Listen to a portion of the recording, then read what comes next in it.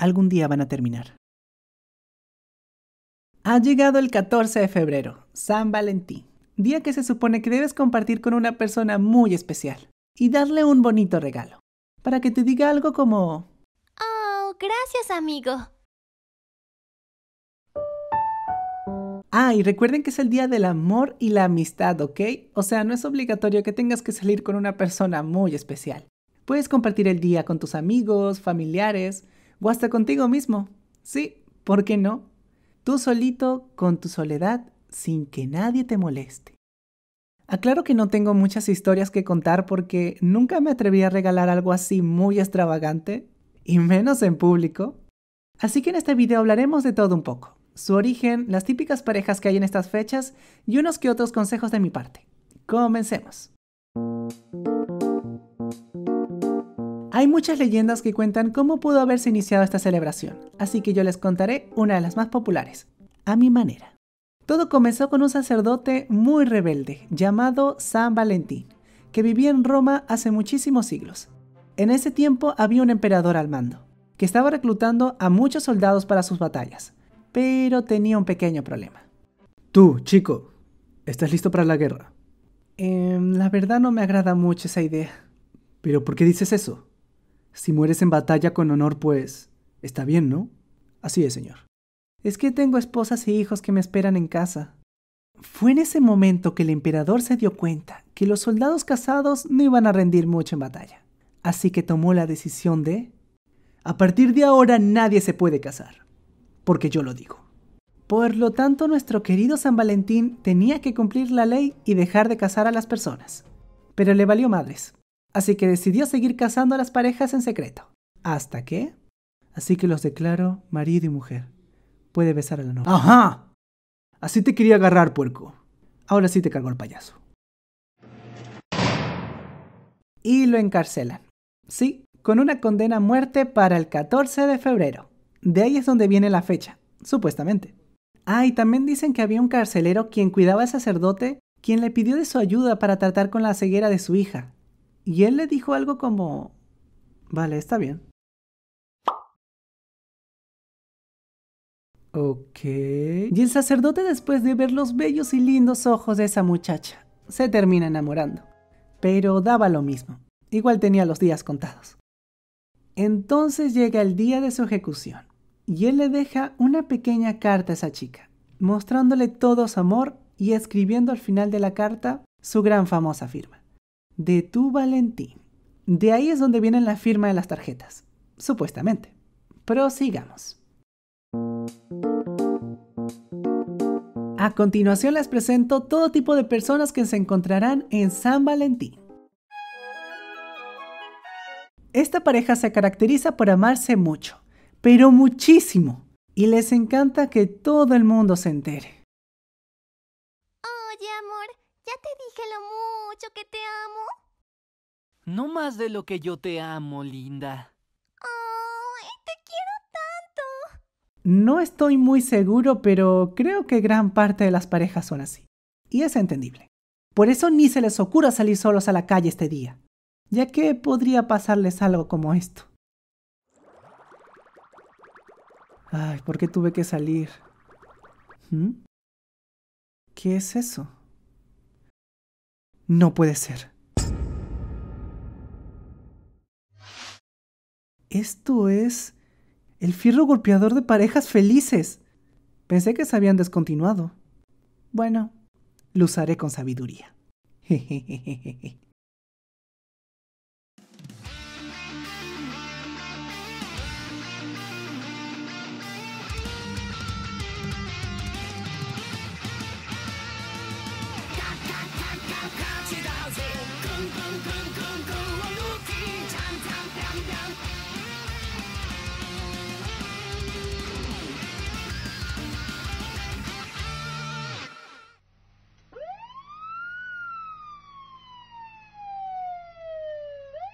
no me arrepiento de nada. Son aquellas personas que buscan cualquier forma para no sentirse tan solos por estas fechas. Al menos tú no me defraudarás.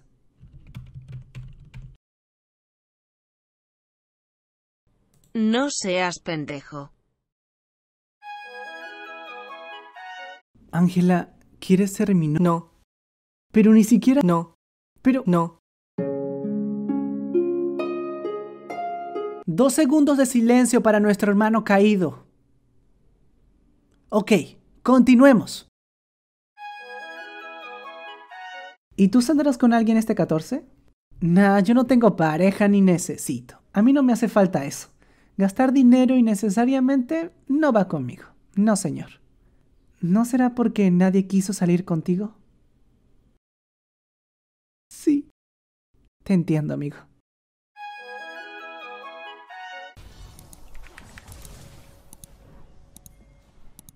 Siento que se me está olvidando algo. Hmm. Un momento. Hoy es 14 de febrero y no he comprado su regalo aún. ¡Ah! ¡Ah! Ah, no, espera. Sí es cierto, yo no tengo novia.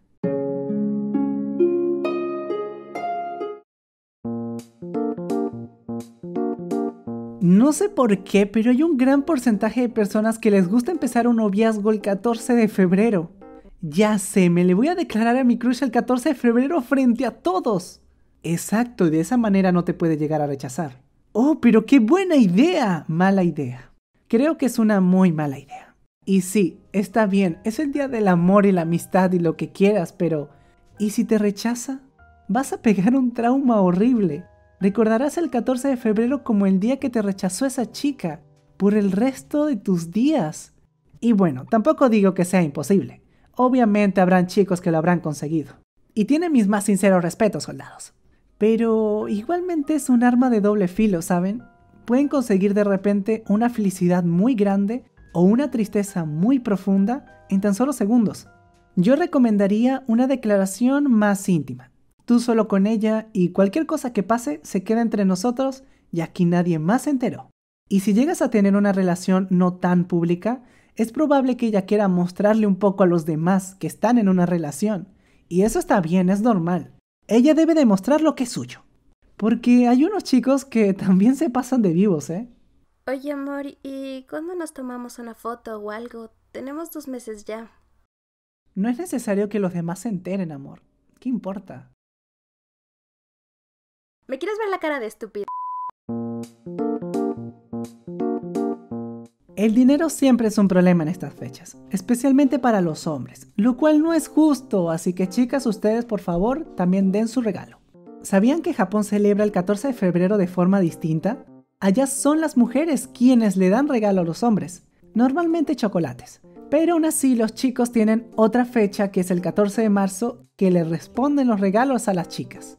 Pequeña curiosidad, su tradición dice que el chico debe responderle a todas las chicas que le regalaron algo. Y si es posible, un mejor regalo. Es decir, chocolates más caros. O sea que si el 14 de febrero unas 10 chicas te regalan chocolates en Japón, el 14 de marzo te quedas pobre. Ahora hablemos de los regalos. Que por cierto, si tu pareja te dice que no le importa que le regales algo, está mintiendo. Llegará el día y ella te mirará así. ¿Qué pasó, amor? ¿Y mi regalo? Tú dijiste que no era necesario. Y es por eso que siempre es bueno llevarle algo, por muy sencillo que sea. Entonces, ¿cuál sería el regalo perfecto para una chica? Primero que nada, ten en cuenta que todo es un poco más caro el día de San Valentín, y unos días antes también. Así que si tienes pensado comprar algo, te aconsejaría que no lo dejes para último momento. Lo digo por experiencia. Muy bien, ¿qué podrías regalarle? Lo más común son peluches, flores y chocolates, así que no estaría mal uno de esos. O mejor aún, las tres juntas. Pero yo sé que no a todos les sobra el dinero. Así que podrías usar la vieja confiable. La creatividad. Créeme que puedes hacer un regalo muy bonito que le guste mucho y no gastes tanto. Como un dibujo, por ejemplo. Eso era lo que más yo regalaba. Ah, pero si le piensas dar un dibujo, tampoco se lo vayas a dar así como... Aquí tienes, un dibujo.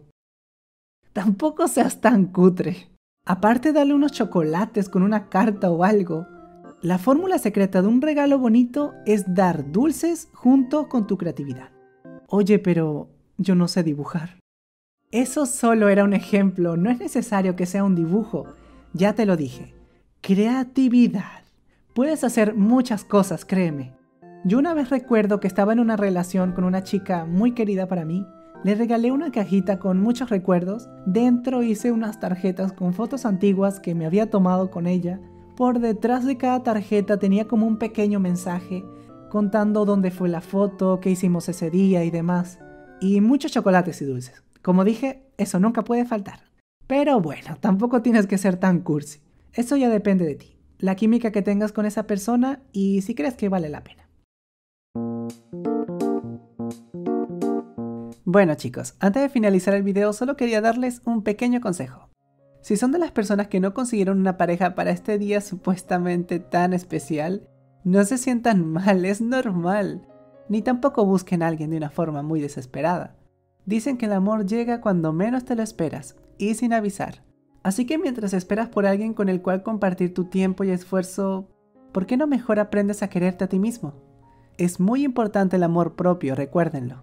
Aprende, trabaja en ti, crea proyectos. No pienses que por andar solo está mal. Mejor piénsalo como el tiempo necesario para hacer de ti esa persona ideal para ella.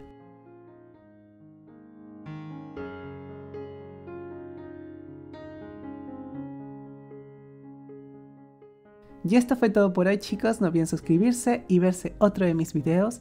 Espero que les haya gustado, se hayan entretenido y bueno, yo soy Dreamo y nos vemos hasta la próxima. Bye bye.